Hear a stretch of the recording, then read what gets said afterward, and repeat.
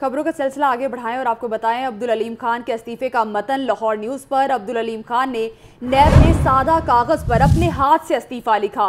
वज़ीर अला पंजाब, मुझे नैब ने गिरफ़्तार कर लिया। अब्दुल अलीम खान की तहरीर इखलाकी तौर पर सीनियर वज़ीर का अहदा रखने का अहल नहीं रहा। मजीद बात करेंगे मोहम्मद हसन रज़ा से। हसन रज़ा, अखलाकी तौर पर अब्दुल अलीम खान मुस्ताफ़ी हो गए। इस बात का ज़िक्र वो पहले भी कर चुके थे कि अगर नैब जो है गिरफ़्तार करेगा या रेफरेंस दायर करेगा तो इस्तीफ़ा दूँगा।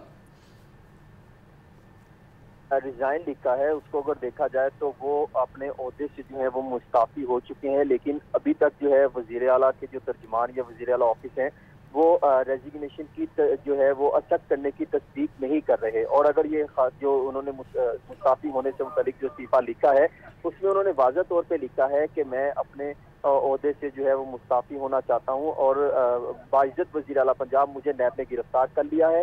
अखलाकी तौर पर सीनियर वज़ीर का अहदा रखने का अहल नहीं रहा। मेहरबानी करके फौरी तौर पर मेरा इस्तीफ़ा कबूल किया जाए।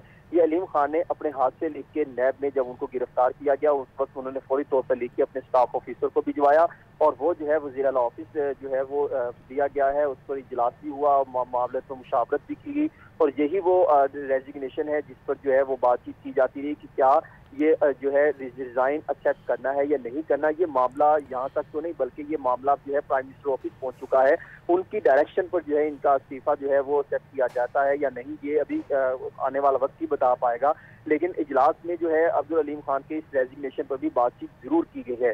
अब्दुल अलीम खान ये पहले भी मुतद बार ये कह चुके थे कि अगर मुझे नैब गिरफ़्तार करता है तो मैं फौरी तौर पर जो है वो मुस्ताफ़ी हो जाऊँगा।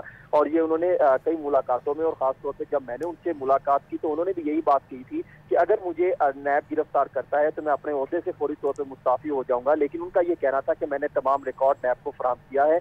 अब क्योंकि नैब ने बहुत सारे इल्ज़ाम भी आए किए हैं, वो भी मुकम्मल सबूतों की रोशनी में कल इंसाफ अदालत भी पेश करेंगे। अब जो क्योंकि उन्होंने रिजाइन लिखा है, उसमें उन्होंने वाजह तौर पर लिखा है और वजी अला पंजाब को डी एस सर करके उन्होंने मुखातिब किया है और उसमें उन्होंने लिखा है कि आज I am arrested by NAB authority I feel my जो है moral duty and design from the part of senior minister government of Punjab with immediate effect please accept my resignation ठीक है अब्दुल अलीम खान ने नैब में सादा कागज़ पर अपने हाथ से इस्तीफा लिखा। अब ये इस्तीफा एक्सेप्ट होता है या नहीं ये तो आने वाला वक्त बताएगा। बहुत शुक्रिया हसन रजा आप हमें आगाह कर रहे थे।